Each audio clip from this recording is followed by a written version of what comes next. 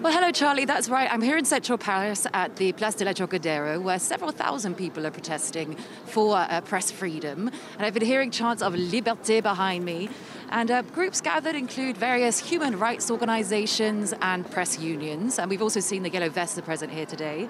And they're angry about this controversial proposed um, security law.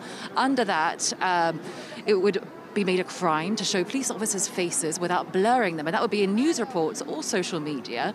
Um, well, we've seen various different placards today, and it, we're here with me now. I've got Agnès Karimi, who's a uh, school teacher here in France, and I can see that your placard is saying democracy is in danger. And um, can, I, can you tell me what, what's brought you out here today to protest? Because it's really important to fight for freedom here in France. Uh, I don't want to live in a police state and as a teacher, I'm really worried for the next generation because this new law will not allow us to, uh, to actually film what happened to George Floyd. As an English teacher, I started class talking about uh, what happened in Black Lives Matter, and this would no longer be possible. So we would be actually having drones and facial recognition. We would be living in a police state, and we could no longer film police brutality or police violence. This is very scary. So I'm here to fight for democracy. And what repercussions do you think this law had could, could have for your, your students in the future? So you're here with some of your students today.